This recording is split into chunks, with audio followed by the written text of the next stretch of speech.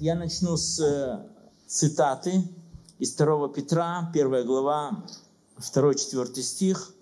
«Благодать и мир вам да умножится в познании Господа Иешуа Машеха, от божественной силы Его даровано нам все потребное для жизни и благочестия через познание призвавшего нас славой и благостью. То есть мы Его познаем, и в нашей жизни могут открываться многие-многие разные благодатные вещи, которые Господь приготовил для нас. Это как ты учишься, и ты вдруг узнаешь какие-то новые вещи. Ты э, и был финансово безграмотный, к примеру говорю. Тебя кто-то обучил, и смотришь, у тебя какие-то вещи стали срастаться одно с другим. Понимаете, это такой же пример. Есть духовные вещи, которые Бог приготовил для нас, и когда мы их исследуем, то они начинают благословлять нашу жизнь. И там сказано дальше, дабы вы через эти великие дары соделись причастниками божественного естества, чтобы мы приблизились к Богу, стали познавать Его больше – и, удаля, и удаляясь или удалившись от господствующего в мире растления похотью. То есть здесь вот эта вот фраза, которую я хотел подчеркнуть, мир, этот мир, его может растлевать, развращать, убивать, делать ему большой незык и проблему похоть. Ну, вот как здесь сказано. Кроме похоти есть еще куча вещей, которые могут разрушать этот мир. Вы сами можете подумать, назвать. Допустим, в послании 1 Иоанна говорится, что гордость очей, гордость житейская, это тоже вещи, которые разрушают. Если мы живем в каком-то нормальном состоянии, и вдруг приходят вот эти вот вещи, то начинают нас просто косить. Почему я начал с этого стиха? Я его взял как образец, чтобы перефразировать чего-то тело Машеха, или церковь, или кигила, или верующие, я сейчас не говорю ни о каком здании, я говорю только о группе людей. Э, есть очень много сильных обетований для нас, и вы наверняка помните такие слова, которые Ишуа сказал, «Врата ада не одолеют». Ну, этот стих можно по-разному толковать, но это говорит о верующих, о людях, как о чем-то крепком – сильном. Так вот, если бы взять и перефразировать вот этот стих из второго послания не Петра, то можно сказать, что Бог сделал тело Машеха сильным, и оно может еще больше укрепляться, если будет единиться, если будет молиться, если будет познавать Писание. Но такие вещи, подобные антисемитизму, подобные отторжению святости, подобные отторжению каких-то разумных заповедей Господних будут растлевать тело, как похоть растлевает мир. То есть как эти заповеди растлевать тело Машеха, Киелу, общину.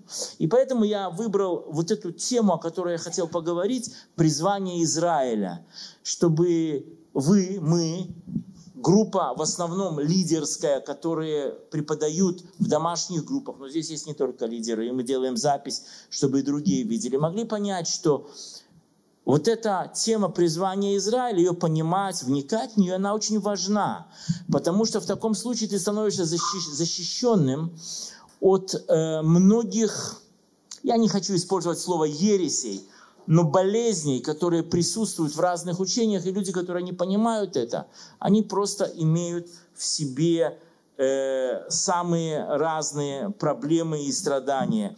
Я не однажды, не, неоднократно встречался с разными верующими, которые не очень понимали Израиль, евреев, я думаю, вы тоже.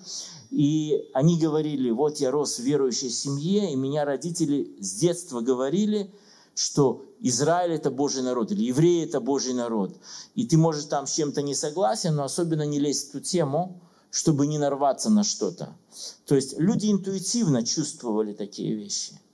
И слава Богу, что мы живем в то время, когда, когда тема Израиля говорится, поднимается, но сейчас во время обстоятельств, в которые мы живем, по всему миру вспихивают опять масса антисемитизма, и начинают говорить, ну вот, там у вас там 130 человек похитили, там, или там больше было, 240.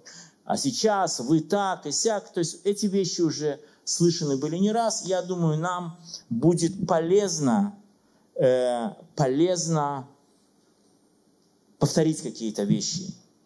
Э, еще одна фраза, которую я хотел э, сказать. Помните, как-то я проповедовал, большинство из вас, мне кажется, были тогда на проповеди, у нас как раз китайцы были, я на кухне нашел нож, их не такой большой. И я показывал, что нож – это инструмент в руках Господа. И по Писанию этим ножом является Израиль. Но острием этого ножа, по Писанию, является верующий в Иешуа.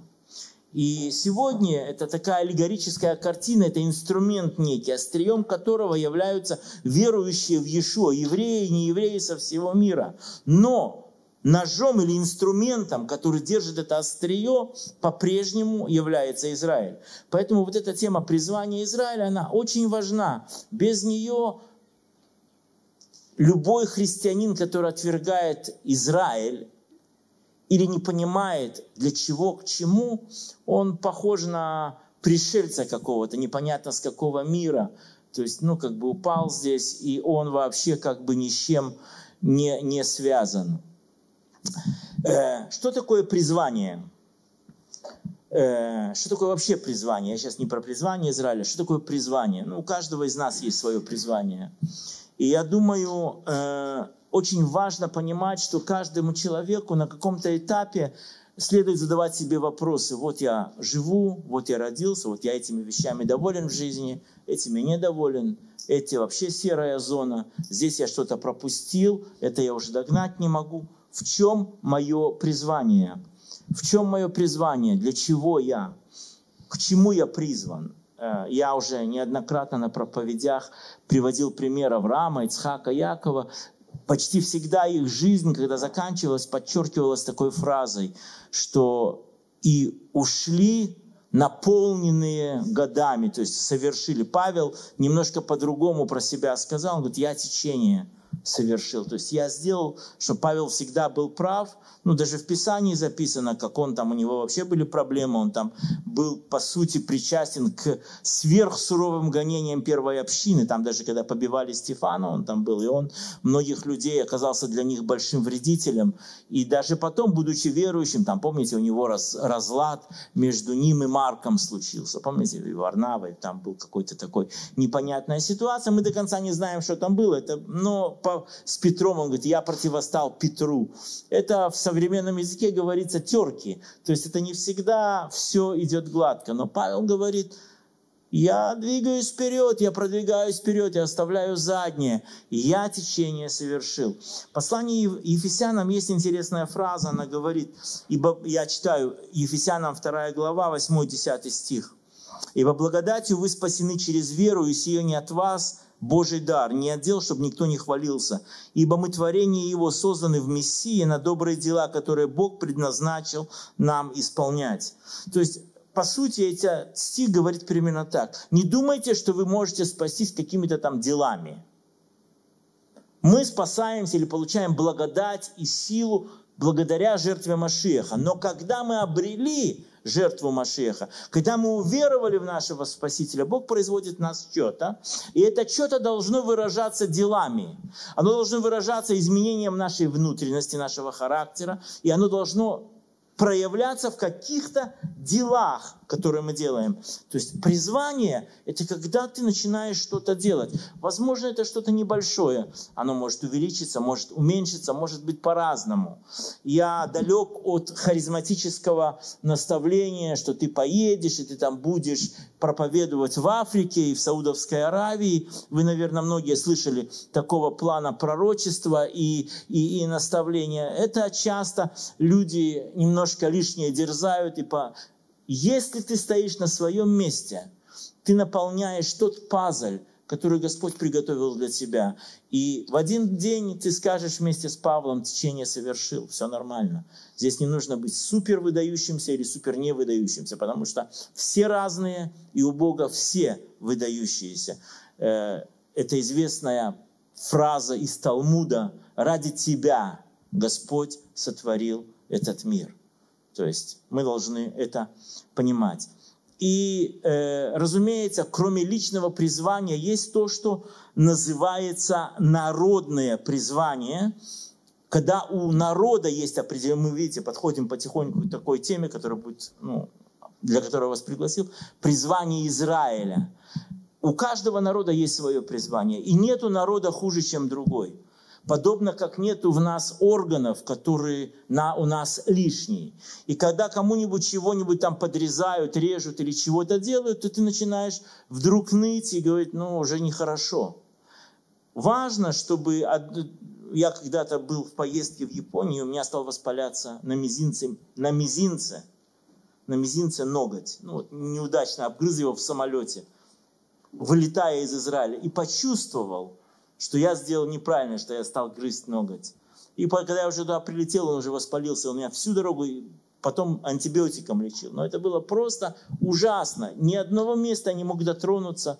Просто, просто катастрофа. Так вот, у каждого народа есть свое место и свой дар, и своя возможность быть, раскрыться перед Господом Богом. Апостол Павел на эту тему говорит в Деяниях, в 17 главе с 26 по 28 стих, он говорит, от одной крови, то есть от, от одного Адама, Бог произвел весь род человеческий для обитания по всему лицу земли, назначив предопределенные времена и пределы их обитанию, дабы они искали Бога, не ощутят ли Его, не найдут ли Его, хоть Он и недалеко от каждого из нас. То есть Бог рядом с каждым.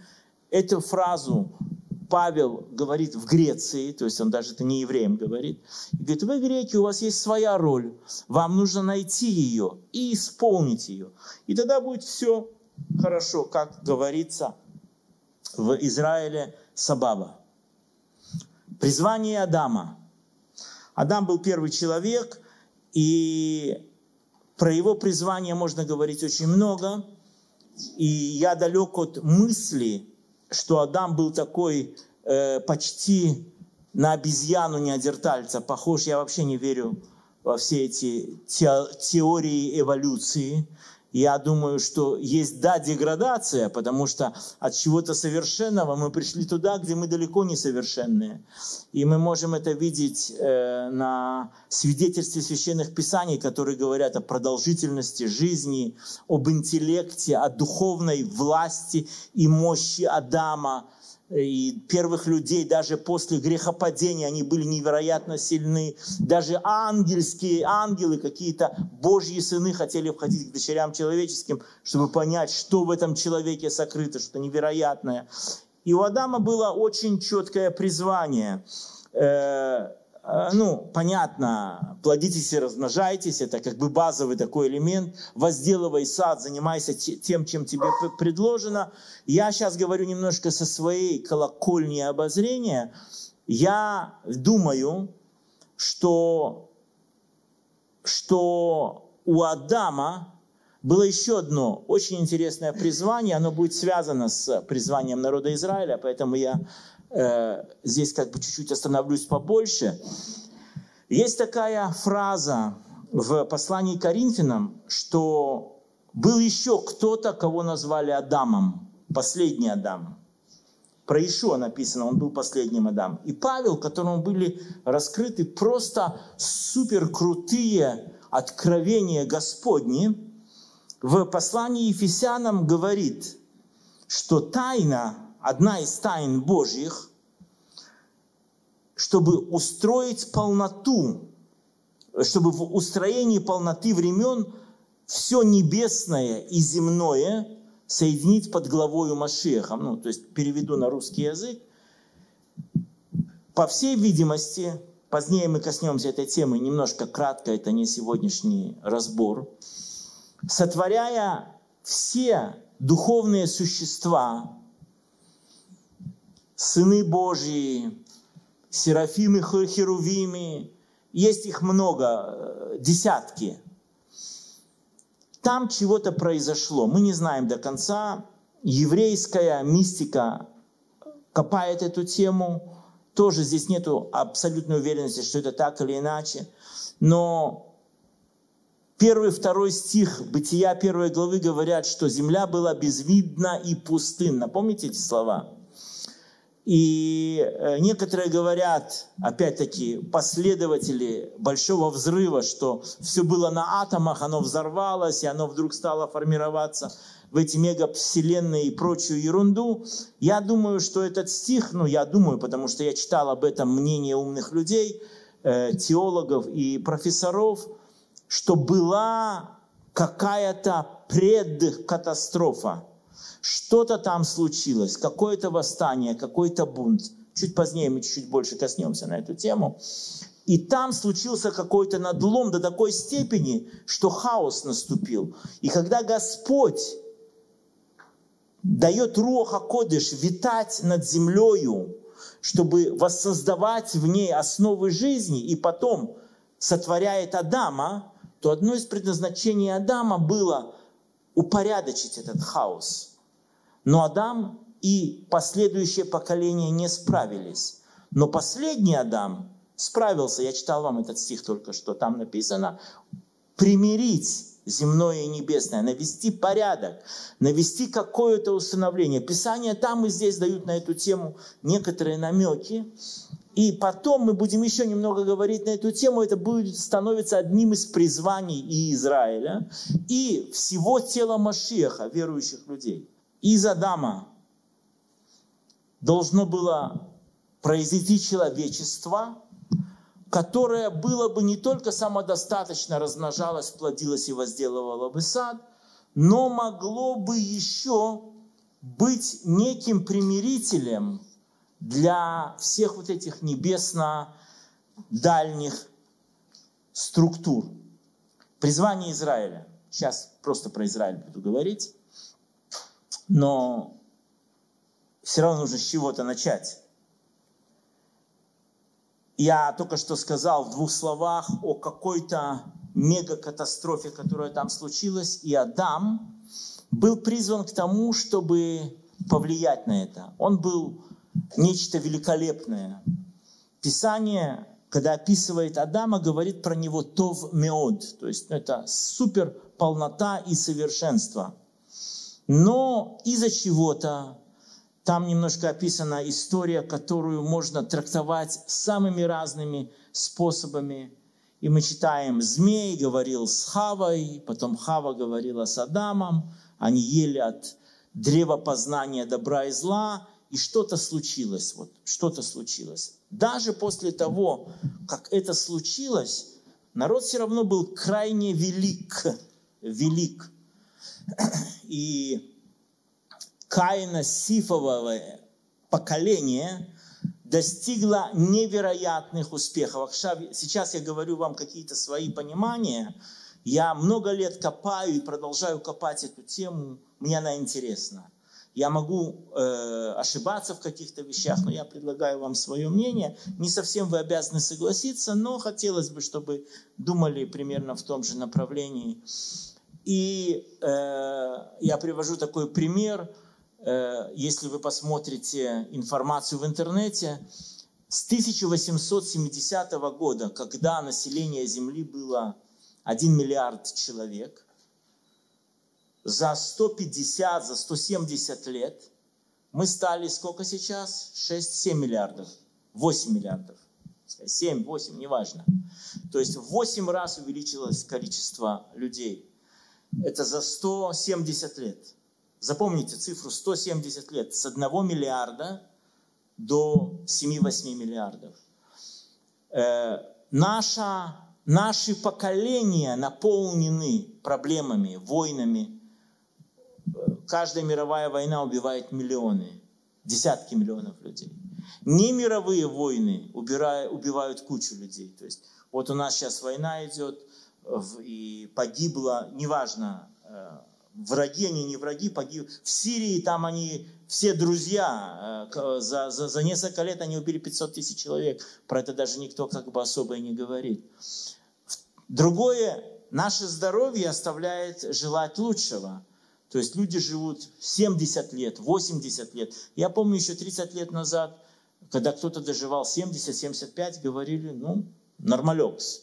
Сейчас получше, сейчас уже говорят 82, 85, 90 лет. Но все равно, сколько детей рождает женщина? ну, 20, нет, не 20, 50 лет назад могли и 10 детей родить, правильно? Сейчас 2-3, 4 в лучшем случае, ну, если чуть больше, это уже редкость. Теперь, если вы просто подумаете, что от Адама до потопа было 1500 лет, и средний возраст тогда был 800 лет, и они жили и не тужили, вы можете представить, сколько родилось людей? И почему я могу говорить про эту тему немножко так дерзновенно? Я думаю, что в потопе погибло так миллиардов двести. Миллиардов двести, не миллионов двести, миллиардов двести. Потому что они оставили после себя очень много памятников. Имеется в виду каких-то мегалитических и прочих конструкций строений, которые показывают о наличии высочайшей технологии, которая разбросана по всему лицу Земли на всех континентах. И слава Богу, у меня была возможность побывать во многих местах, и частью поездок я всегда давал, ну не всегда, но последние лет 10 отдавал этому интересу, пойти и посмотреть что-то, чтобы показать. И везде, в любом месте, практически везде я видел вот эти вот древние вещи, которые показывают о могуществе. Даже потоп не смыл это все. Даже все эти 4 или 5 тысяч последующих лет не удалило это. То есть это говорит о том, какие они были великие. И они отличались и здоровьем, и духом, и интеллектом, но они не справились с грехом. И человечество опускалась ниже, ниже и ниже.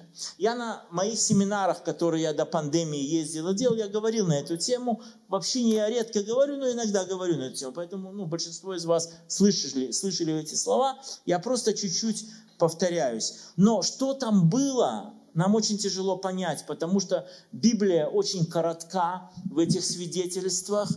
В разных других литературах мы всегда сомневаемся, насколько там честно и правильно передана информация. Но если кто-то интересуется, то можно выстегивать информацию и учиться.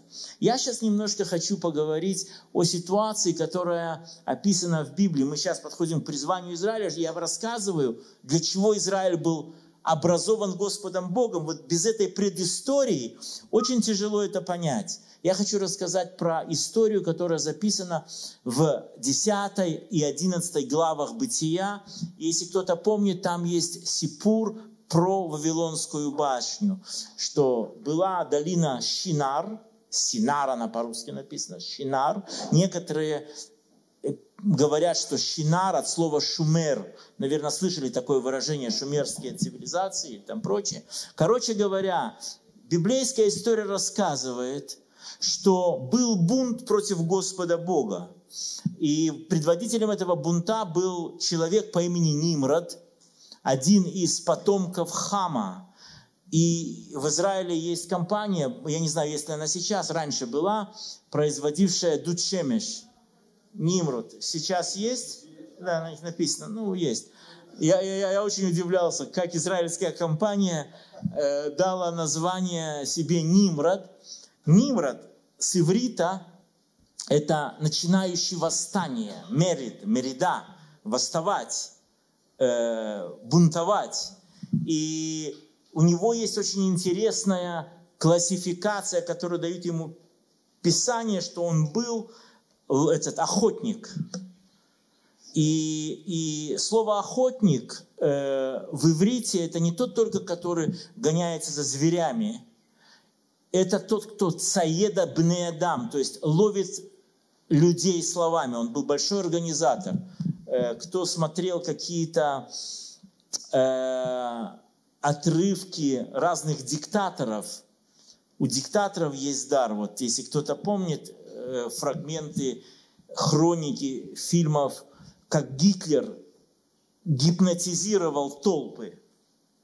То есть как Сталин выходил, как Мао Цзэдун выходил они гипнотизировали толпы людей. То есть это определенная способность, которая есть в человеке. Так вот, у Нимрода она была такая, что он загипнотизировал весь тот развивающийся мир. И они стали строить башню до небес.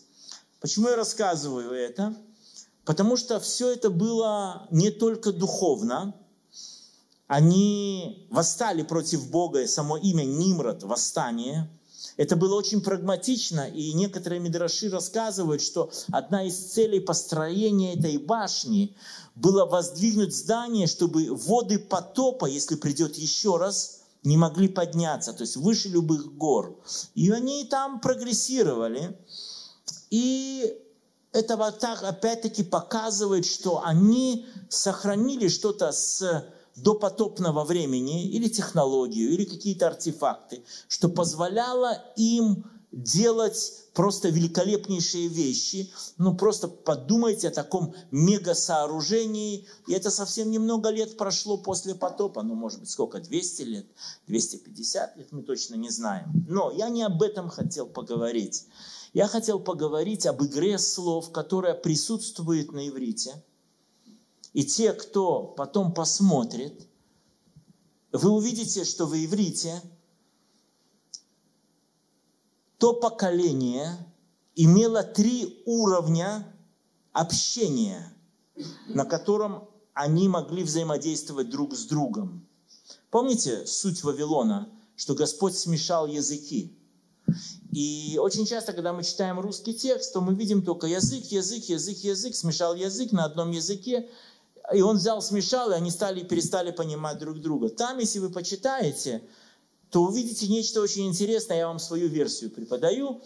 Э, сами думайте. Есть в иврите 10 и 11 книги Бытия три разных слова, которые выражают язык.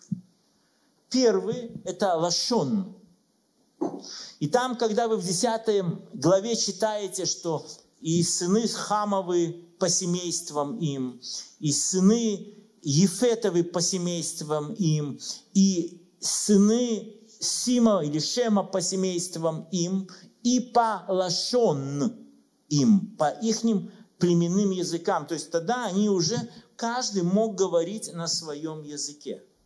Каждый мог говорить на своем племенном языке, которое, который в Бытие в 10 главе называется словом лашон. Вы здесь в Израиле живете, даже те, кто не владеет нормально ивритом, знают это слово лашон.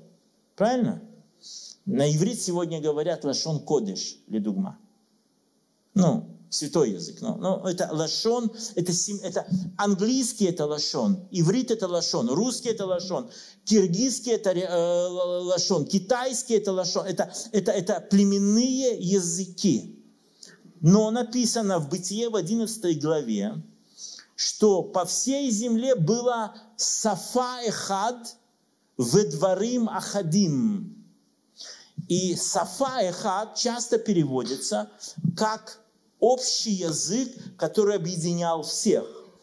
И очень часто ну, мы могли сказать, окей, это как сегодня, допустим, английский, к примеру. Но если вы попутешествуете даже в близкой нам Европе, есть целый ряд мест, где масса людей английский язык не знает. Вот просто не знает. Э, хитруки, вы были по нашим следам в Финляндии. Там масса людей их, их doesn't speak. No. Франция, нет, в Германии, то есть кажется, то есть молодежь уже более-менее, а те, кто постарше, не-не. Но сейчас есть язык, который объединяет всех. Я не буду вас мучить вопросами, что это? Интернет. Это язык, или это сафа, или это какое-то ноу-хау, которое уже не ноу-хау, которое объединяет всех. И сейчас есть, во-первых, масса приборов, которые перевести могут благодаря интернету. Но сегодня весь мир подвязан на интернете. И ты не можешь, ну, еще можно где-то там получить кабалу заплатив деньги, и тебе выпишут квитанцию рукой. Ну, в большинстве мест все становится более и более и более более компьютеризировано. Не говоря уже о всех, то, что называется банковские переводы, электричество контролируется, водные потоки, весь supply, все, что подается в магазине, это все на базе интернета. И поэтому Сафа – это что-то, что объединяет всех. Ну, вот я в данном случае даю интернет. Но там написано, и были у всех дворым ахадим. На иврите слово давар можно тоже перевести как слово. Слово. Давар это слово. И про Иешуа сказано в, в Иоанна, что вначале было слово, там написано давар, и давар был у Бога, и давар был Бог. Ну, вот так вот сказано. Но Давар это может быть еще что-то осязаемое. То есть вещь, кто-то сказал здесь. Если я вам сейчас кину такую штуку, как сейчас идет развитие IA. Кто знает, что это? Искусственный интеллект. И вы знаете, молодняк наш даже в общине, они во все этим пользуются. Я, допустим, не рискую туда залазить, потому что не хочу, чтобы еще какой-то IA начинал контролировать и изучать меня. Но у молодежи на эту тему страха нету. И они, вот как мы в Гугле делаем поиск, они разговаривают с AI, и они ищут много-много информации. И только представьте, что этому явлению дастся больше места – и оно начнет больше и больше контролировать многие-многие вещи. Есть такие странные фильмы, когда человек приходит на суд, а вместо судейской комиссии сидит машина, которая просто воспринимает его слова, не, не следует мотивацию, ничего, бац, и выдает ему э, вердикт. Да, просто делает а, математически она то есть это катастрофа, если такое когда-нибудь будет, потому что, что будет? Но я не про это говорю, я говорю, что люди, которые тогда были намного более развиты, чем мы, у них был племенной язык, у них было что-то, и я повторюсь, я сомневаюсь, что это был разговорный язык, который объединял их всех. И у них был какой-то определенный уровень давара, Три уровня общения у них было, которые мы только в нашем поколении начинаем видеть, он внедряется больше и больше. А тогда он уже был на всю катушку, и написано, увидел Господь, что зло они решили, и Господь не трогает давар, но он уничтожает сафа, второй уровень то, что объединяет все народы. Ну, вот как сейчас интернет. Теперь я вам нарисую ужасную картину. Просто последуйте логике и подумайте, если сегодня кто-то отрубит интернет по всему миру, нарушится все взаимодействие людей. И пускай все атомные боеголовки заржавеют в своих шахтах – но из-за необъяс... из-за необычного количества сбоев электричества, подачи воды, продуктов, лекарств, прочего, за полгода не смогут сделать шаг назад. Ну, может, сделают шаг назад, когда и вернутся во времена факсов и телефонных звонков. В аналоговой схеме за это время умрут сотни миллионов людей – потому что прекратится подача, будет катастрофа. Так мы слабее, чем они, и мы меньше зависимы от вот этого объединяющего языка. Когда там что-то случилось, когда Господь разрушил план Вавилона, то человечество погрузилось в то, что называется самое дремучее время – Теперь интересные просто языковые э, комбинации. Слово «Вавилон» или «Бавель» с акадского языка, а Акад это был один из сыновей Хама, поэтому я доверяю, что есть вот такое толкование. На акадском языке слово Бавель или Вавилон, как мы говорим по-русски, Бавель, Ба – это врата, а Эль, что это Эль? Эль – это врата Божьи. или врата богов. То есть у них была та же самая тема, которая была у Хавы со змеем в Эдемском саду, что и войдете, и будете как боги. Но на иврите слово «бавель» происходит от слова «бильбуль». Что такое бильбуль? Путаница, мибульбаль, человек мибульбаль. Вот вы если бы, ну, кому доводилось прийти в больницу, человеку сделали операцию, и он отходит от, э, от наркоза, у него все в голове плывет, он не знает, ну, поэтому сейчас они там используют по-другому, как пробуждать. Но вот это именно такое состояние. Земля погрузилась во тьму. И это 11 глава Бытия. И вот здесь мы читаем, и вот здесь мы читаем, в 12 главе, как вдруг начинается динамичное развитие и происхождение народа Израиля, как бы оппозиция тому, что произошло до. Там все погрузилось во тьму, а здесь вот вам, пожалуйста, источник света. То есть призвание Израиля начинается с Авраама, и целью было просветить тот весь мир, который оказался во тьме. Я прочитаю одно место, которое, по-моему, классно выражает ту ситуацию. Эта ситуация повторяется многократно в мире, и, может быть, повторится еще раз. Это Исайя, 60 глава, с 1 по 3 стих. Здесь говорится, «Восстань, светись». Там в русском языке написано «Иерусалим», но это курсивом, то есть там слова «Иерусалим» нету в оригинале. «Восстань, светись, ибо пришел свет твой, и слава Господня взошла над тобою». Ну, это про Израиль, в общем-то, говорится, по, по смыслу, если вы читаете контекст этой главы. «Ибо вот тьма покроет землю, и мрак, или слэш туман, Рафель там написано, народы. То есть это вот как раз состояние бильбуля, когда вроде умные, вроде запутанные.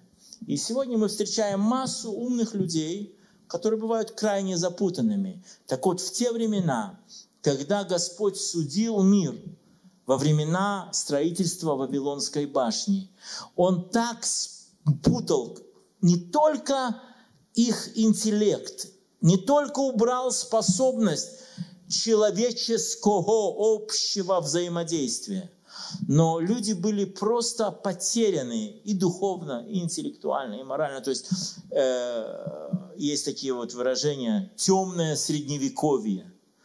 Настоящим темным был век именно в то время. И тогда, когда они разбрелись от Вавилонской башни, каждый там раскопал свой городок, может быть, послепотопные, может быть, отстроили чего-то, э, может быть, что-то сделали, и окопались, и поставили вокруг защиту, чтобы жить своим маленьким народом, только бы нас никто не убил, и как-нибудь да прокормимся. И вот прочитайте про те вот э, истории, которые записаны. Иерихон был такой. Это был город, который окружен, туда не пробраться. И Иерушалаем, там, где Евсей жили, был такой же. Такие мы были все города потому что люди были в смущении. Вот я не знаю, как вы, но когда вот сложные вещи случаются у нас, я люблю, чтобы все собрались дома. И пускай кто-то учится там, кто-то живет там, я хочу, чтобы все, вот моя семья, мы были вместе. Это дает хоть какое-то э, ощущение силы и защиты. И вот у нас были непростые месяцы, и я очень ревновал, чтобы не надо, каждый пускай занимается своим делом, главное, чтобы вот в этом пространстве. И это вот было состояние мира, когда люди погрузились в невероятную тьму. И вот посреди всего этого Господь э, поднимает э, Израиль. Сейчас я сделаю маленькое отступление. Я касаюсь разных-разных тем. Можно будет потом послушать запись, кому будет интересно, даже задать вопросы. Все, что происходит в этот момент, в тот момент, в этот момент, в любое время на земле, оно интегрально связано с небесами. И на самом деле на эту тему обычно в собрании мало говорится, потому что больше на собрании обычном, ну вот не на обучающем таком, а на обычном мысли и дух говорят увещевать людей, поклоняться Господу, помолиться вместе, принять вечерю Господню, что такое духовное священнодейство. Сейчас мы учимся. И это немножко по-другому, поэтому на эти вещи не всегда говорится, но некоторым интересно. Я вам сейчас почитаю два текста. То есть один и тот же текст в разных э, интерпретациях библейских. И, возможно, у некоторых картина мироздания станет яснее. Во Второзаконии, в 32 главе, в 7 стихе, с 7 по 9 стих, говорится, вы знаете, что на сегодняшний день присутствуют три библейских текста, какие ха-тексты, которые считаются верными. Кто знает э, библейский масорецкий текст? Слышали такое? Масора, Септуагинта и текст Шамруни, который в Самарии. Э, самый древний текст – это Септуагинта. Она была написана примерно за 280 лет до рождения Иешуа и ее записали на греческом языке 70 еврейских мудрецов, которых тогдашний царь греческий сказал, мы хотим иметь еврейскую Библию на своем родном языке.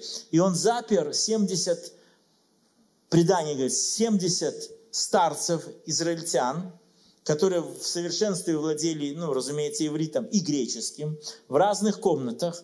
И они каждый перевели пятикнижие. И оно совпало чуть ли не словами. Это считается самым древним текстом.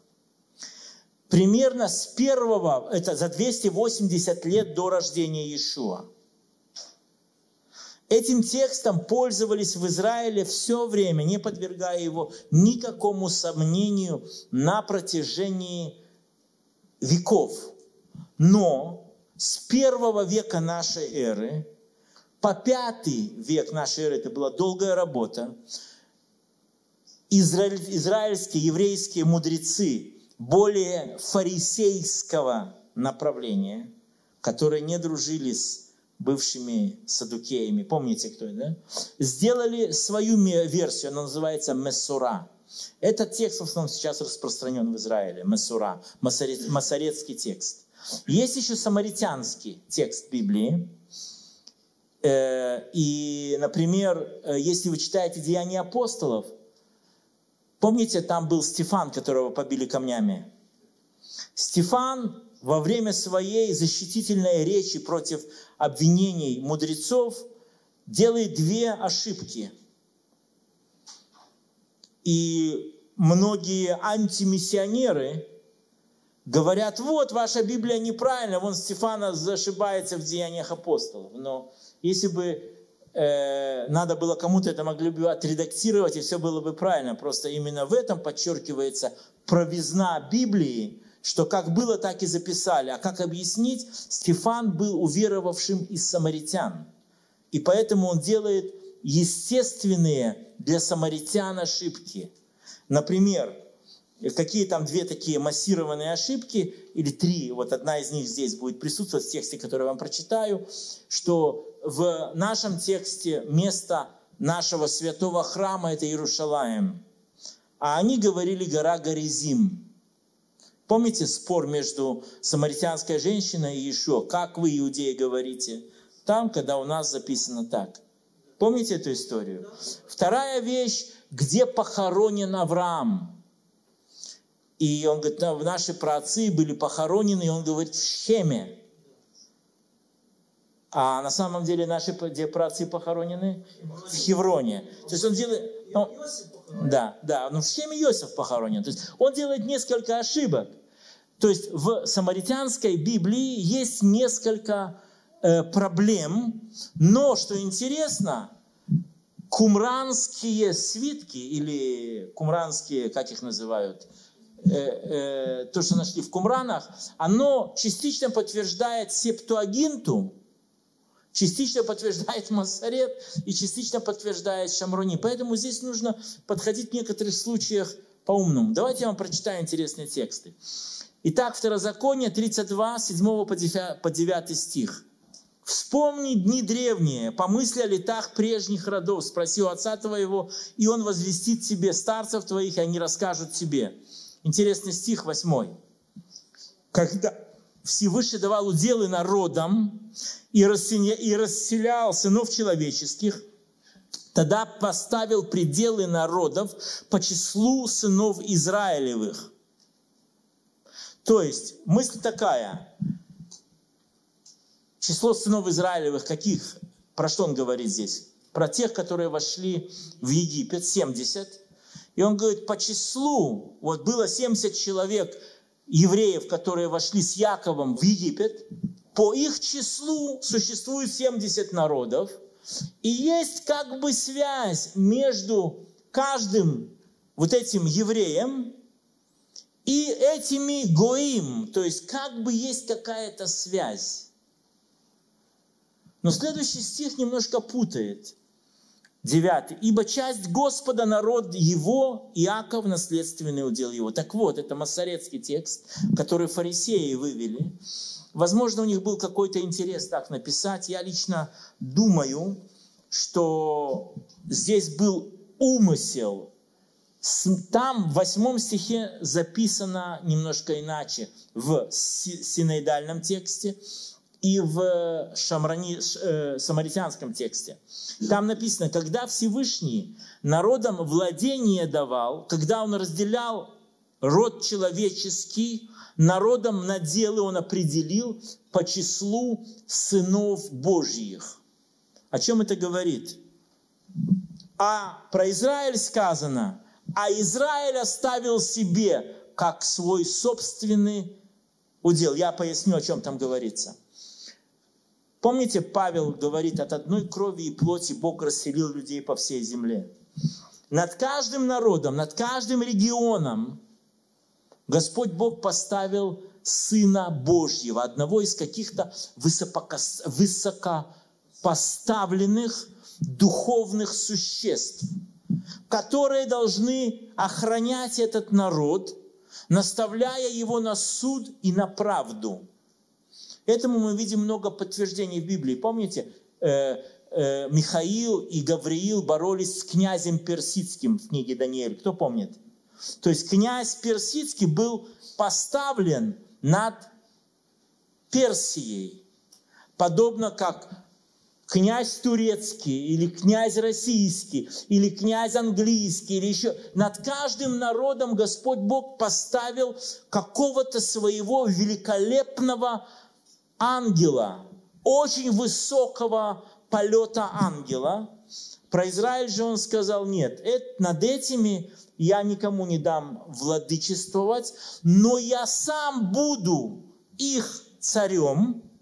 И тут так и сказано, ибо часть Господа народ его, то есть это мое, Иаков наследственный, наследственный удел мой.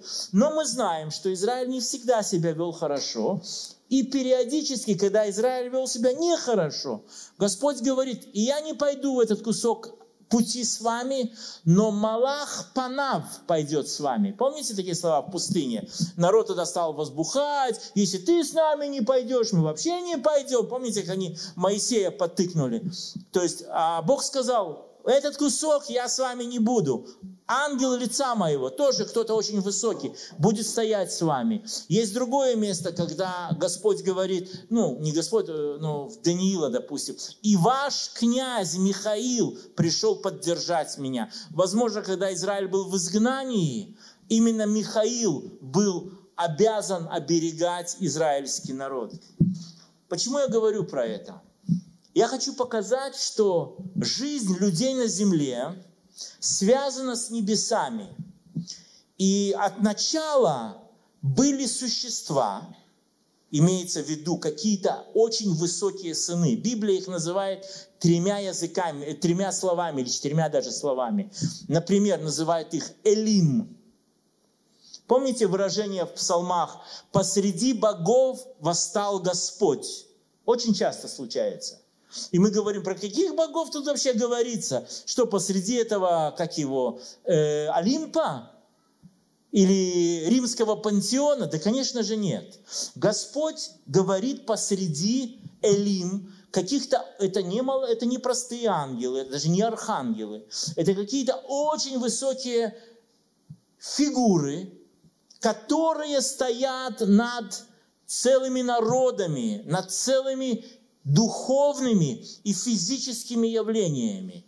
Я не хочу сейчас смешивать физику и метафизику, но в Откровении написано про это, что «И я увидел ангелов, которые э, руководил ветрами». Помните, там один, и он сказал, «Дули эти ветры, дули эти ветры». Кому интересно почитать немножко про ангелологию, качните с интернета любую из книг Еноха. Я не отвечаю за все, что там это стопудово и столько... Но интересно понять, как оно там все немножко устроено, это интересно. Короче говоря, эти ангелы, или эти высокие существа называются Элим или Бней Элохим, сыны Божии, или Элохим. Словом Элохим обозначается не только Господь Бог. Писание этим словом может называть и силы, и, и, и сынов Божьих, и даже судей человеческих. Написано «Атем Элохим», Ишуа говорит это слово, повторяет в Новом Завете. Он говорит там, в высшем, вы судьи, вы Элогим, поступайте же правильно. То есть мы должны во многих местах понимать подтекст, контекст, о чем там говорится. Так вот, эти, эти Элогим, или Бне Элогим, помните Иова? И когда собрались сыны Божьи, пришел между ними кто? Нет, не Люцифер. Сатан. Почему я хорошо сказал, и я тебя это исправляю, скажу почему. Сатан – это не есть одна сущность, это не есть персона какая-то. Словом «сатан» Писание называет самые разные сущности, которые иногда с собой, возможно, никогда и не встречались. Например, «Ибо древний змей, который Еву соблазнял, и дракон – это одно и то же, они названы сатаном. Люцифер – в Иезекииля, и в Исаия там написано про Херувима. То есть, то есть один был такой, такого уровня, избран на то, чтобы лесотен противодействовать или испытывать людей, народы, всякие сущности. Другой был, чтобы для Адама и Евы. Это для этого. Они, возможно, не пересекаются друг с другом, но они направляются на то, чтобы испытать, как кто знает выражение краш-тест, э, краш-тест для машины. Вот машину сделали, ее не сразу пускают в производство. Ее несколько раз об столбик долбанут, поставят туда каких-то чучел с датчиками, чтобы оно отреагировало, насколько защищенно. То есть Господь Бог проводит через такие краш-тесты и людей, и народы, и все что угодно. Про Иова мы пишем, мы читаем. «И сказал Господь, ладно, испытай его». Кого еще Бог испытывал? Иисус. Э, но самые яркие примеры. Еще Бог испытывал. А Давида, э, царя Давида он не испытывал. Помните, как написано, и внушил ему сатана испыта, исчислить народ Израилев. В одном месте так написано, а в другом и Господь сказал ему исчисли. То есть как бы от Господа исходят эти вещи очень часто. Я сейчас, я сейчас не хочу вдаваться в ту тему, я просто хочу сказать, что эти великие Элим были как, как, как духовные цари над народами. И у них была задача, понимая веренных им людей, учить их правде и суду, чтобы каждый народ развивался хорошо. Но, вы помните, я уже заметил, что там что-то случилось. Бытие, первая глава, первый, второй стих. Хаос. И хоть хаос был разряжен действием Святого Духа, полная гармония тогда не наступила. И когда Иешуа пришел и восторжествовал, примирил земное и небесное, уравновесил какие-то вещи, там все равно продолжаются какие-то процессы, про которые мы ни сном, ни духом, это не нашего ума дело. Но Псалом 81, к примеру, Псалом Асафа, Бог стал в сонме богов, Элим. Среди богов произнес суд. То есть он говорит этим вот высокопоставленным Элим. Он говорит, да коли будете вы судить неправедно и оказывать лицемерие нечестивым, давайте суд бедному и сироте, угнетенному и нищему, оказывайте справедливость не, не, я проскакиваю, не знают, не разумеют, во тьме ходят, все основания земли колеблются. Я сказал, вы Элим, вы боги, и сыны Всевышнего все вы. То есть это не просто для людей слова идут. Это слова обращаются к Элим. И он говорит, ну умрете как человек и падете как всякий из князей. То есть здесь Писание говорит, что в один день Бог за то, что эти Элим вели себя неправильно, произведет над ними суд. И то же самое говорит Исаия, 24 глава, Исаи, 21-22 стих. «И будет в тот день, посетит Господь воинство выспреннее в высоте тех, которые поставлены. Помните, Иешуа восторжествовал над началами, силами и властями. Кто помнит такое выражение? То есть какие-то сущности, которые управляют народами, посетит их и также царей земных на земле и будут собраны вместе, как узники в ров, и будут заключены в темницу, и после многих дней будут наказаны. О чем это говорит? Это говорится, что в один день, вот мы часто говорим, Господи, ну сколько все вот это вот можно терпеть? Вот, то есть что-то исходит от этих высших, низшие это берут, и развращаются, вместо того, чтобы доброе и справедливое исходило. И Господь в один день придет и накажет. Накажет. Он накажет не только коррумпированного полицейского, он накажет не только коррумпированного врача, он накажет коррумпированного премьер-министра или какого-то делягу. Он накажет также коррумпированного своей властью Эль-Эля, который был господином, который должен был небесное передавать на землю, а он ради своих личных каких-то конкурентных вещей, я фантазирую, делает по-другому. И эти князья будут наказывать, будут наказываться. Есть еще место про таких князей. Э, вообще, когда сотворялся человек – есть Мидрашим, который рассказывает, что все эти князья великие разделились в своих мнениях. Были ангелы, которые говорили, зачем ты сотворяешь человека, он будет такой, такой, такой. А, допустим, в книге Иова наоборот написано, и когда Бог сотворял людей, то ликовали звезды. Кто помнит такое выражение? Звезды – это не кохавим, которые мы видим на небосводе. Мы здесь в этом языке звезды это какие-то вот эти духовные, по всей видимости, тоже Элухим или Элим, это одно из их дополнительных названий. То есть они восхищались, как Господь Бог сотворяет все. Короче говоря, э, я уже говорил, Бытие, первая глава, с 1-2 стих было тьма и хаос, какое-то столкновение, атеистический мир, эту космографию переделал в большой взрыв, типа там все взорвалось, из хаоса все сложилось. На самом деле это, наверное, говорится о каком-то духовном коллапсе. И, и суть всего этого, что что-то нарушилось, и именно поэтому одно из мест Писаний, Колоссянам 2 глава, я 14 стиха читаю. Иешуа, он истребив учением бывшее нас рукописание, которое, которое было против нас, он взял его от среды и пригвоздил к кресту. Отняв силы у начальств, властей, властно поверг их позору, восторжествовал над ними собою. То есть я опять-таки попробую перевести эти слова на русский язык. Эти власти, силы и начала, которым было верено руководить народами, на каком-то этапе тоже скоррумпировались. В чем была коррупция там, я не знаю. Но эти духовные авторитеты, каждый выдавал своим народам лживые рукописания. Это, наверное, объясняет, что у разных народов есть свои духовные книги. То есть у индусов свои, у этих свои. И здесь сказано, что Иешуа пришел, отми, пришел отменил власть этих, дав истину, он восторжествовал над ними.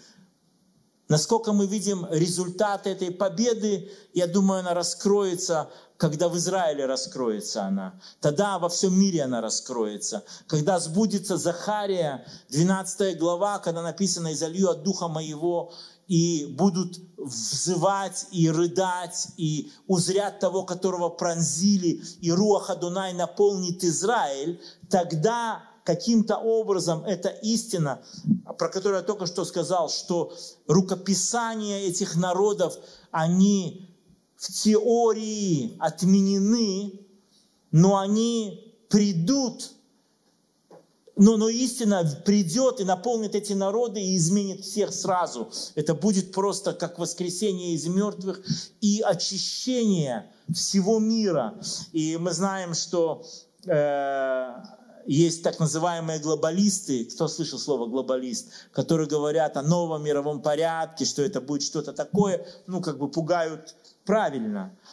Да, в один день придет Божий единый миропорядок, когда лев сможет лежать рядом с ягненком, и когда ребенок сможет на аспида наступить, и будет все в порядке, но тьма, она связана не только с тем, что на земле, она связана с тем беспорядком, который существует, присутствует в более высоких структурах. И вот когда тьма эта сгустилась, я опять возвращаюсь к моменту Вавилонской башни, когда Господь разрушил то, что там было, Бог призывает Авраама и говорит, выйди, лех леха, выйди из среды всего этого Вавилона, стоило бы так это слово рассмотреть, и я сделаю тебя орудием или благословения, или суда для всех народов. Помните, какой, какая фраза повторя, постоянно повторяется в э, книге Бытия, связанная с Авраамом, Исхаком и Яковом? «Благословляющих тебя я благословлю, а проклинающих прокляну». И здесь очень часто в харизматическом движении говорили, давайте скинемся еще несколько копеек на Израиль, тогда мы их благословим, и нам придет благословение. Я думаю, некоторые помнят такие моменты. Это было не так плохо, и пускай бы оно и продолжалось. Но суть этих стихов, она другая. Чтобы вникнуть в призвание Израиля, присоединиться к призванию Израиля, и вместе с Израилем быть теми избранными, которых Господь использует для исправления мира, исправления от Вавилона, от всякого зла. Для напоминания, вы помните, Вавилонская башня, три уровня общения. Господь вмешивается, потому что все эти уровни общения были замешаны на грехе. И как результат кромешная тьма, бильбуль в сердцах людей, люди просто потерялись, позжимались свои племенки и семьи, что, племена и семьи, чтобы только кто другой не обидел, не это. Тьма покрыла народы и туман.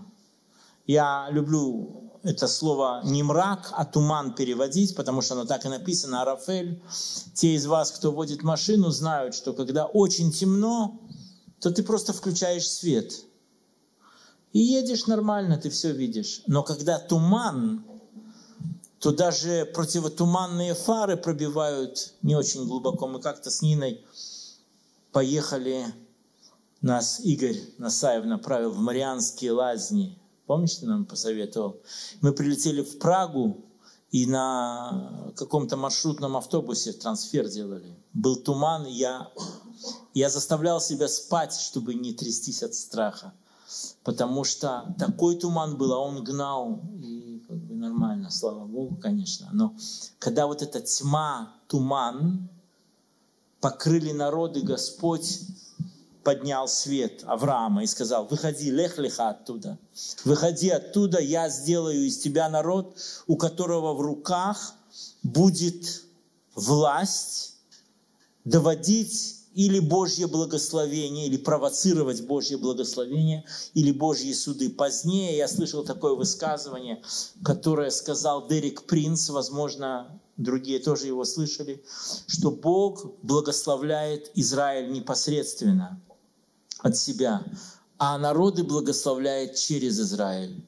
И Бог наказывает народы непосредственно, а Израиль наказывает через народы. То есть, э, ну, как-то вот эти стихи, вот так они работают. И вот еще место, которое, я сейчас про Израиль говорю, про призвание Израиля, когда Господь общается с нашим народом, то говорит такие слова. «Я, я и потомству твоему навеки дам эту землю, сделаю потомство твое, как песок земной». Если кто сможет сосчитать песок земной, то и потомство твое будет сочтено. Но тут говорится, ибо всю землю, которую ты видишь, дам вам. То есть это призвание Израиля каким-то образом связано с землей, на которой мы живем. И с первых строк книги Библии это прописано. И это как э, хозе, как договор у адвоката, находится у миллиарда или у миллиардов людей в домах. И несмотря на это, тьма, которая сегодня поражает народы, пытается переписать это контрактное заявление между Богом и Израилем о земле. В, на призвание Израиля повлиял Махмаа или признание Авраама Милхиседеком. Мы помните, была там война на Ближнем Востоке, у нас здесь. И Авраам и какая-то небольшая группа его людей погналась за теми пятью царями и отбила у него всех пленников, включая Лота. И когда Авраам возвращался с победы, а он был далеко не воин, он был пастух, ему навстречу вышел Милхиседек, и написано, Милхиседек, царь Салимский, вынес хлеб и вино. Он был Бога, он был священник Бога Всевышнего. И благословил его и сказал, благословен Авраам от Бога Всевышнего, владыка неба и земли, и благословен Бог Всевышний, который предал врагов твоих в руки твои. Авраам дал ему десятую часть всего. Почему я остановился вот на этом стихе? Потому что Милкисидек в древнем мире был очень важная фигура, не знают, кто он на сто процентов. Еврейский мидраж чаще всего склоняется, что он был царь Салима, и, то есть жил там, где Иерусалим, и был царем. И многие думают, что это одно из имен Шема, потому что если вы посмотрите диаграммы, кто сколько жил, то Шем в то время еще жил. Кто помнит такой Шем? Сим то есть сын Ноя, он еще был жив, ему было 600 с лишним лет, и он благословил своего прямого потомка, который от Господа принял это повеление стать светом разрушающемуся миру. И когда Иешуа позднее говорит своим ученикам, вы свет миру, то по сути он повторяет все те вещи, которые в свое время, может быть, немножко другим языком, но были сказаны и Аврааму, и народу Израиля. Я эра Дунай панавелеха. И восветит Господь на тебя лицом своим. И ты будешь светом, ты будешь отражать. Вы свет этому миру. Это все с одной э, темы, говорящие об одном и том же. Э, Интересно, что когда Авраам совершил победу над э, этими пятью царями, царь Содомский говорит ему, бери все, что завоевал, только людей моих отдал. А Авраам ему говорит, даже шнурков твоих не возьму. Это очень сильно отличается от действий Ахана во времена войн Иисуса Навина. Помните? Как он простер руку свою и взял чего-то и навлек заклятие. Да. И здесь очень важно быть как бы вот Авраам пекся, он знал, что у Израиля должна быть определенная, определенный уровень святости и неприкосновенности со всем тем, что является заклятым. Это не значит, что мы являемся стерильной нацией. Мы имеем, особенно сейчас, массу грехов, и тогда массу грехов имели. Но есть определенный уровень, куда заходить нельзя. К сожалению, я думаю, что вот мы сейчас живем в то время, когда мы допустили переходы красных зон. И поэтому вот сейчас все то, что случается с нами, нуждается просто в покаянии. Э, здесь мы также читаем, что когда Господь говорит с Авраамом, Он обещает ему, что у него будет потомство не только физическое наследие, но будет еще и духовное наследие. Я чуть позднее про это больше скажу. Но вот одно из мест Писания, Бытие 17 глава, 4-6 стих, здесь сказано, «Вот завет мой с тобою, ты будешь отцом множества народов». То есть не только еврейский народ произойдет от тебя, поэтому нам как бы мы не то что гордимся, для нас это большая привилегия. И вы знаете, я один раз был в определенной встрече с нашими израильскими арабами, которые последнее время стали себя чаще называть не израильские арабы, а как они себя называют, кто знает? Палестинцы. Ну, многие говорят, мы палестинцы, мы, у нас гордое имя палестинец. Но я уже говорил на эту тему немножко. Палестинец это чисто мифическое название, оно не присутствует нигде. Но были плештим, жили в земле Изра... ну, филистимской. Плеша – это оккупант. Они происходили вообще не от Авраама. Это были сыновья Ефета, это были с Крита, то есть Греции, греки, которые, племена греков, Польшу оккупировали ту часть, которая в Газе. И все воины Израиля, очень много были с ними. И вдруг сейчас арабы, которые по своему генофонду являются так же, как и евреи, прямыми потомками Авраама, вдруг говорят, не, не, мы, мы плештим, и я имел такое дерзновение сказать определенной группе верующих, арабов, христиан, которые себя гордо называли, вы отрекаетесь от своего отца, про отца, от Авраама, вы хотите быть э, там. И Писание здесь говорит, у Авраама будет много народов.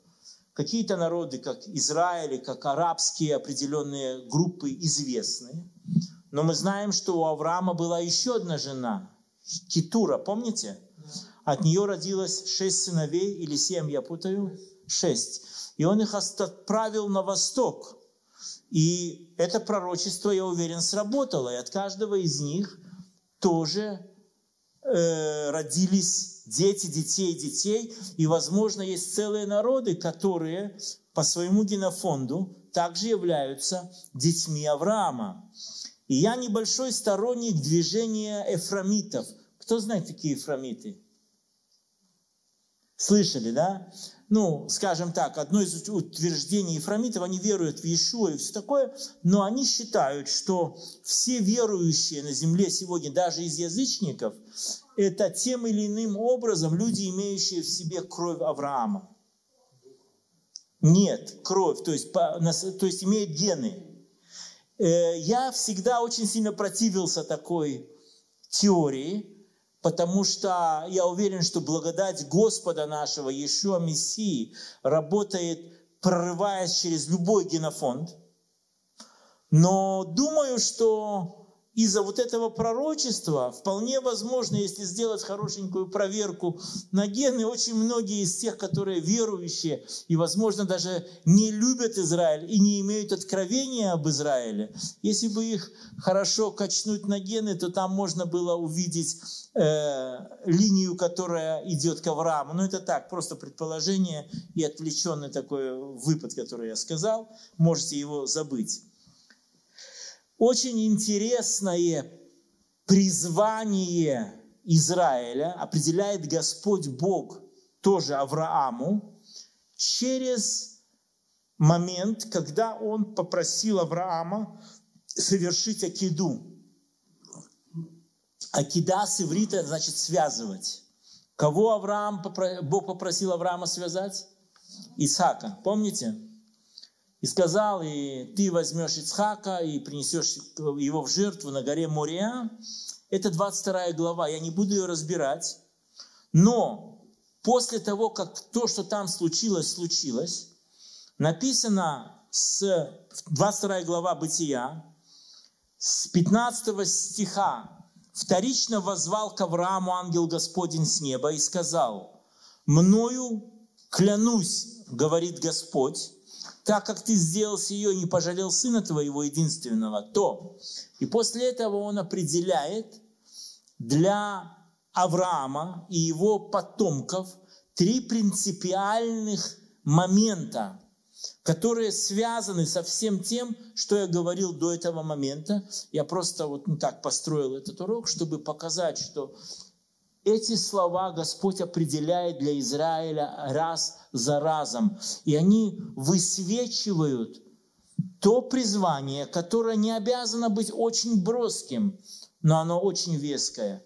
Кстати, это вот, э, вот такое вот призвание, э, периодически в Писании мы видим, как нечто случается с какими-то личностями, и как Господь для них определенным образом провозглашает через других людей, ну в данном случае это Господь говорит, а какие-то истины, к примеру.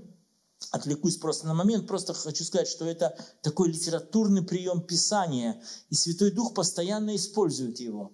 Помните, когда родился Иешуа, и чуть-чуть подрос, его понесли в Иерусалим благословить в храме? Это Лука, вторая глава написано, и взял его в руки Симеон, Шимон. Помните это слово, да? А, э, чтобы было понятно, про Шимона написано не только в Новом Завете. Шимона Цадик, это имя мелькает и в Талмуде тоже. То есть это личность, которая была в Иерусалиме и подтверждена. Так вот, Шимона Цадик берет Иешуа в руки и говорит, для него просто характеристику для его всей будущей жизни. Он говорит, сей лежит на восстание и падение многих. Ну, это факт. Были люди, кто был поднят Духом Божьим благодаря вере, а были те, кто был просто брошен вниз из-за неверия. Второе, он говорит, сей есть свет для просвещения язычников. Помните? Тот, который укажет язычникам правильную дорогу. То есть царь Давид пользуется таким же языком и говорит, Слово Божье, свет или светильник ноге моей. То есть свет... И он говорит про Иешуа, Симеон еще говорит такие слова. «И славу народу твоему Израилю». То есть восстановит славу слэш призвание Израиля. Потому что Израиль на определенном этапе стал уходить очень сильно в сторону. И даже сегодня, ну, или тем более сегодня, мы далеки от того понимания, что есть призвание, слава, та внутренность. Мы на собраниях неоднократно говорим на эту тему и цитируем Иезекииля. Я цитирую Иезекииля, там, где написано «Я верну вас из всех стран ваших и очищу вас от мерзости, и верну вам сердце плотяное, и дух мой наполню вас». То есть эти слова можно читать буквально, можно аллегорично, что Господь Бог хочет восстановить в нас тот стержень, который был в Аврааме, в Исхаке и в Якове. И вот здесь ангел Господень говорит – три характеристики для израильского народа, которые никто никогда больше не отменял. Первый он говорит такие слова, я читаю 17 стих, первую половину, здесь сказано, Я благословляю, благословлю тебя и умножаю, умножу семя твое. То есть семя твое станет многочисленным, как звезды небесные, как песок морской. То есть это разность в потомках. Одни потомки как звезды, а другие как песок. И непонятно здесь, кто, кто есть кто. Но наверняка это говорится то же самое, о чем Иешуа позднее говорит, или пророк говорит, и будет у тебя еще одно стадо. Помните? То есть Израиль по плоти, те, которые уверуют и привьются, и, то есть восстановятся в славе принадлежания Господу, и не евреи. Здесь говорится, то есть два сорта потомков. Одни как звезды, а другие как песок. Я повторюсь, я не знаю, кто здесь звезды, кто песок, евреи или язычники, это не так важно. Здесь важно говорить, что у Авраама будут дети и физические, и духовные. И послание Галатам очень четко говорит на эту тему. Кто помнит, как в Галатах сказано? Бог говорит через Павла язычникам, и вы есть через веру суть дети Авраамовы. Очень часто верующие говорят, мы дети Божьи. Ну, это тоже нормальное определение, но в первую очередь в земном и в благословенном порядке дети Авраамовы. То есть Первая часть благословения и призвания Израиля, что они размножатся, и это будет народ, который знает Господа Бога, и это будет народ обширный, не только из евреев, но и из неевреев. Божий народ его можно назвать. Второе. «И овладеет семя твое городами врагов твоих». Это на русском так написано. А на иврите написано, что твои потомки завладеют вратами, вратами врагов. Э, как переводится с акадского языка Вавилон? Бавель, врата, Элим. То есть вы, твои потомки, будут воевать с Вавилоном. И здесь я люблю вставлять не библейское слово. Твои потомки будут анти-Вавилоном против Вавилона. То есть задача твоих потомков будет в Вавилоне, там, где люди запутались, выхватывать оттуда людей и приводить их в свет Божий. И Павел в Колоссянах говорит, избавивший нас от тьмы и приведший в чудный свой свет. И это задача любого верующего человека, но прежде всего это призвание Израиля – показывать истину – Повторюсь, сегодня Израиль не в самой лучшей кондиции. Со всеми религиозными нашими штуками и нерелигиозными. В нашей среде выросли самые крутые религиозные авторитеты и самые крутые в мире атеисты.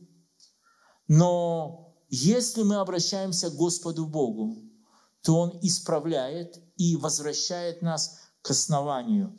И третье благословение, вот здесь вот в 22 главе, 18 стих. «И благословятся в семени твоем все народы земли за то, что ты послушался гласа моего». И здесь мне не надо толковать этот стих, потому что его истолковал апостол Павел. И он говорит, здесь в семени как бы об одном говорится. То есть это прямое пророчество про Иешуа. Итак, призвание народа Израиля быть нации, которая ищет святость, будьте святы, как я свят, она состоит из Израиля и из присоединившихся язычников через Иешуа, ставшими детьми Авраама, воевать против врат Вавилона, каким образом, живя свято, и родить Машеха, который, помните, я говорил про нож, инструмент Божий, острие – это верующие, а это острие острия. Машех – это тот, на котором строится все. Я продолжаю. Э, почти все обетования, которые Бог сказал Аврааму, Он подтвердил и Ицхаку, и Иакову, но я просто хочу указать на всего лишь несколько. Одно из Одно из, один из статусов, с которым жил Авраам на этой земле, его называли князь Божий, Вы встречаете это место в Писании, и э, написано в Бытие 23.6, пришли к нему там с Герара и с этого люди и сказали, господин, нет, это когда он в Хеврон пришел хоронить свою жену, что он говорит, ты князь Божий посреди нас, Сар-Эль. То есть ты представляешь Господа Бога на земле. Потом, когда жил его сын Ицхак, пришли к нему тоже люди с Герара и сказали, давай мы с тобой заключим завет, ибо ясно увидели, что Господь с тобою. То есть, ну это то же самое. Сар-Эль, представляющий Господу, или то, что ты с Господом находишься здесь, с Им-Эль, Им-Эль Шадай. И подобные слова обращены к Иакову. Помните, Иаков борется с ангелом и побеждает ангела Исава. И потом его этот ангел благословляет и нарекает ему имя какое? Израиль. И ангел дает ему интересную интерпретацию. Он говорит, ибо Сарита, Сарита это бороться, им Эль. Но этот ангел, это ангел Исава, и он хочет ему дать Э, на, на радость его победы насыпать немножко э, э, соли, чтобы у него щипело. И он говорит, Сарита Имель, ты боролся с, с ангелом, ну, боролся. Но если мы смотрим значение имени Израиль, Ие Сар Эль, будет князь Божий. И суть этого очень проста. Когда Израиль начинает думать о себе, что он один из многих народов, становится тот, который сарита, борется с Богом. В тот момент, когда возвращается к себе и начинает искать Господа Бога, начинает быть представителем Бога на земле, Сар Эль. Ну, это по Писанию, и вы все знаете историю, как это работает. Для патриархов было абсолютно понятно, что они выстраивают цепь, то есть цепь, которая объединит целую группу людей, которые жили, которые живут или которые будут жить, потому что для Бога все живы, мы знаем. И эта цепь называется антивавилон. И Исаия очень интересно говорит в 41 главе, с 14 по 15 стих он говорит, «Не бойся, червь Израиль, малолюд, Яков, малолюдный Израиль, я помогаю тебе. Он говорит, вот я сделаю тебя, я вам приводил пример ножа со острием, а, Иаков, а, а, а Исаия говорит, вот я сделаю тебя острым молотилом, новым, зубчатым. Ты будешь молотить и растирать горы, и холмы сделаешь как мякину. То есть какой-то инструмент – который просто разрыхляет в ничто горы. И здесь не подразумевается, что Бог хочет вот уж сильно использовать еврейский народ для ландшафтного дизайна тех или других мест на земле. Здесь подразумевается горы нечестия, холмы неправды. Там, где есть восстание против Господа Бога, то Израиль, как молотило, будет разрушать и убирать. Вся эта тема с э, второй, сейчас чуть позднее больше скажу, с теми постановлениями или принципами жизни, с которым жили наши патриархи, определяют не только сегодняшний образ или уклад нашей жизни, Интересно, что книга Откровения, когда говорит о Новом Иерусалиме, 21 глава Откровения, которая спускается вниз, он говорит, что основание того города на 12 патриархах. А 12 ворот именами патриархов, и там 12 апостолов, э, имена их в основаниях. То есть мы видим, что некая конституция святости, она определяется даже до вечности. Ну, я уже говорил и повторюсь, из Израиля должен произойти Машиах, который произошел, это было уже.